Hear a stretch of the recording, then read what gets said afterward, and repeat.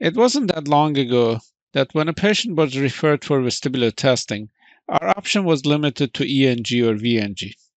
Today we have a series of tests available to us, including VHIT, cVEMPs, oVEMPs, rotation chair, computerized dynamic posturography, and even some other options like subjective visual vertical and ocular counterrolling tests. The question is Is there an optimal process for deciding which tests to perform and in what order? To make that decision, we need to have an idea about the patient's most likely preliminary diagnosis. And the best indication of that preliminary diagnosis is based on the patient's history and the bedside exams. In this presentation, we're going to explore the different options and decide about the best course of action based on some illustrative cases. One of the main elements of the history taking has always been the reliance on the patient to describe the nature of their symptoms. But this has proven to be quite unreliable because the patients have difficulty in differentiating the type of symptoms that we're looking for. Regardless, the type of symptoms is divided into several categories according to the classification of vestibular symptoms. This classification was developed and published by the Bárány Society's committees. It includes, first, vertigo, which is the sensation of self motion when no actual motion is occurring, or distorted self motion during actual head or body movements. Notice that this definition is broader than the traditional spinning sensation and includes the type of symptoms one may expect from otolith lesions and central pathways. These symptoms are often associated with peripheral or central vestibular causes of dizziness.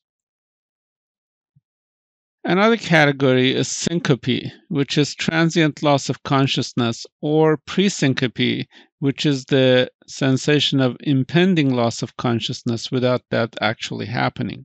These types of symptoms are often associated with dizziness that originates from vascular causes.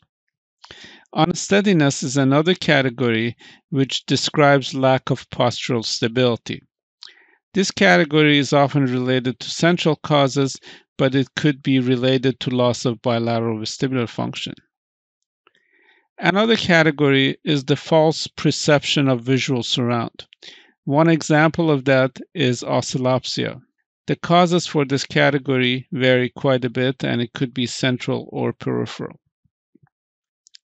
The final category includes lightheadedness and vague sensation of dizziness or distorted orientation. Again, there are multiple causes, but anxiety, 3PD, and similar diagnoses are a few to consider.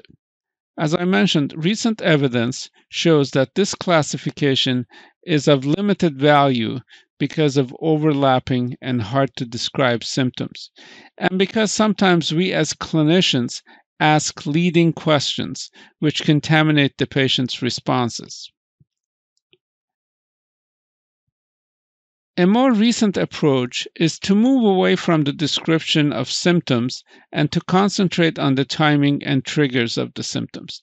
This approach has been advocated by David Newman Toker and his colleagues, and it's abbreviated to TITRATE, which stands for Timing, Triggers, and Targeted Examination. For example, for the timing, one can have a single event that's intense at the beginning but begins to decline in intensity over several days or weeks. Another type is episodic, where the symptoms disappear or at least they are reduced substantially, but they start up again after a period of time. Finally, in chronic cases, the symptoms continue without a significant change in intensity.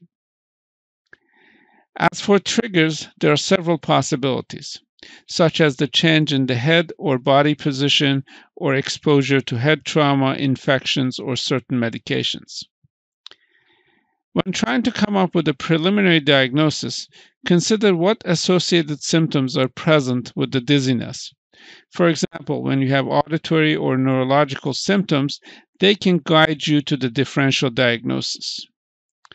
Notice that when we're talking about diagnoses here, we're just trying to decide what's the best functional test to perform and not necessarily to decide about the medical diagnosis. This table shows a few examples for different timings and triggers. Some of these examples are serious or emergency cases that should not be missed, and others are less serious and not life threatening. Regardless, even less serious cases are still troubling for the patient and need to be identified. An example of a non triggered persistent vertigo is vestibular neuritis, but we need to be aware of the more serious cause, which is the stroke. A triggered version of the persistent symptom is concussion, which is triggered by head trauma. This is usually serious and sometimes an emergent case. An example of a non triggered episodic vertigo is Meniere's disease, but a more serious cause can be transient ischemic attack. The triggered version can be BPPV if the trigger is the head or body movement, or more seriously, tumors of the central nervous system, which can mimic BPPV. Examples of chronic or progressive cases can be cerebellar degeneration or uncompensated vestibulopathy, where the patient may have blurry vision during head movements. When we talk about triggers, such as head movements, we have to differentiate symptoms that are brought on by the trigger, like BPPV, or those that are not brought on but simply exasperated by head movements, like different types of vestibulopathies.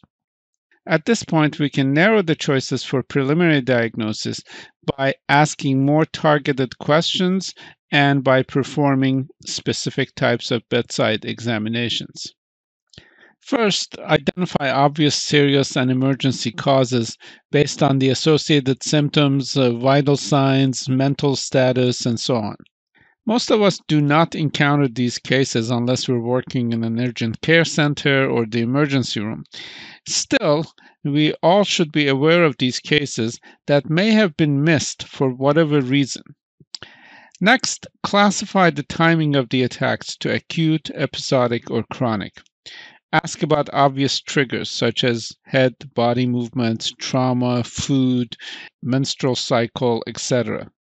At that time, again differentiate between more or less serious causes within a timing trigger category, and then use targeted history and associated symptoms and bedside testings to narrow your choices.